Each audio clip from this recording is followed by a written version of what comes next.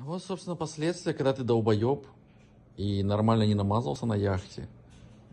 Как бы с телом все нормально, но ногам пиздец. Я не знаю, вот посмотрите разницу. Во Флориде ядовитое солнце на самом деле. Ай, как мерзко, такой ледяной гель. А что это за гель? Алоэ вера?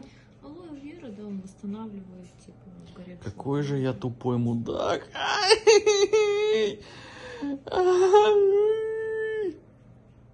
Почему у меня нет мозгов? А ты вообще не обгорела? Вообще ноль.